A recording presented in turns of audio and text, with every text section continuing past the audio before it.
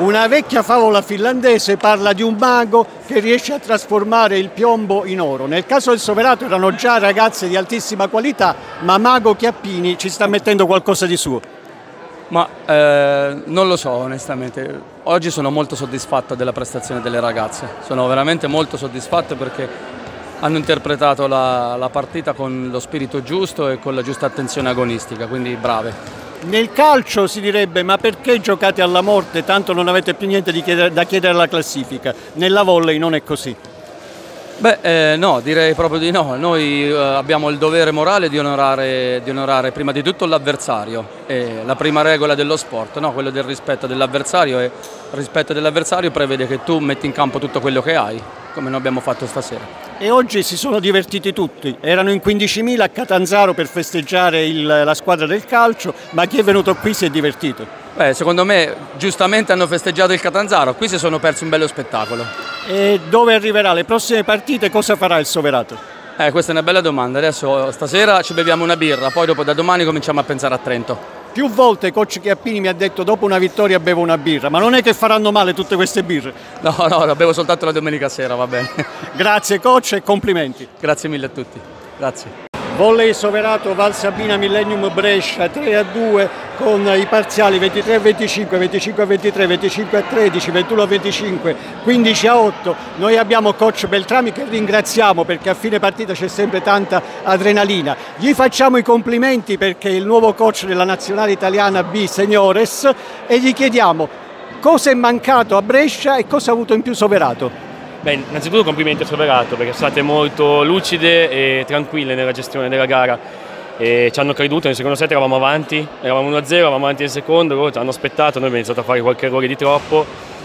E noi non siamo lucidi, devo ammettere. È, è facile giocare con Roma come è stato la settimana scorsa dove tanto non c'è niente da perdere, oggi c'è da perdere e non siamo lucidi, noi interpretiamo la partita purtroppo subiamo in maniera grave la partita, è più un problema di, di attenzione, di atteggiamento, ma non di atteggiamento, la mia, la mia, squadra non ha un brutto atteggiamento, se no non saremo dove siamo ovviamente, però mh, il non accettare che alcune volte le cose possono essere complicate e bisogna rimboccarsi le maniche, accettare alcune situazioni e poi spingere. Però è stata una bella partita, avevate anche gli Ultras al seguito, un plauso a questi tifosi. Sì, sì, abbiamo dei tifosi fantastici, pochi ma buoni oggi, però sì, ci seguono dappertutto, sono venuti a Olbia, l'anno scorso in Sicilia, quest'anno qua, quindi molto bene. E noi abbiamo visto tutte le partite in casa del Soverato e facciamo i complimenti a Brescia, perché oltre ai nomi ha anche la sostanza. Grazie, grazie davvero, sì, sapevamo che qua era difficile. Eh e vabbè eh, abbiamo fatto un punto. Eh, nel senso qualcosa lo portiamo a casa siamo contenti.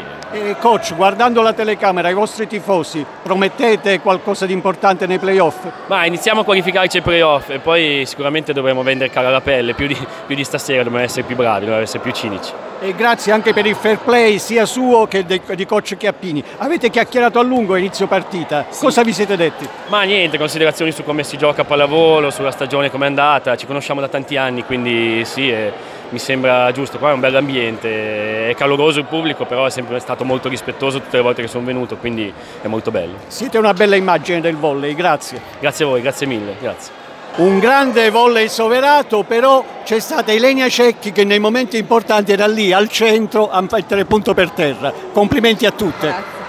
Grazie. No, oggi è andata bene contro una squadra che la partita scorsa ha vinto contro Roma.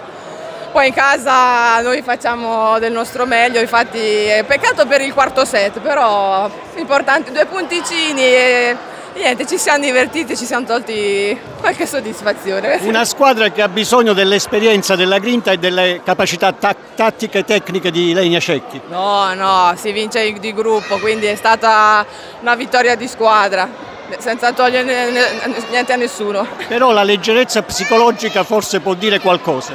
Sì, sì, adesso queste partite che sono rimaste, visto la classifica, le giochiamo col divertimento, insomma è quello che viene è tutto di guadagnato. E avete fatto divertire gli Ultras? Sì, infatti, infatti sì, finalmente. Che continuano a cantare un giorno all'improvviso mi innamorai di voi. Eh sì, e speriamo che li facciamo innamorare anche per la prossima partita in casa. Grazie, in bocca grazie al lupo. Crepi, grazie.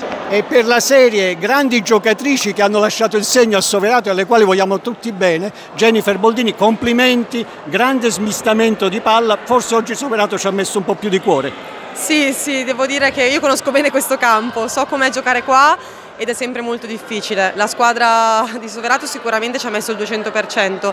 Noi non siamo riusciti a essere costanti, non siamo riusciti ad adattarci al loro gioco, a giocare contro di loro.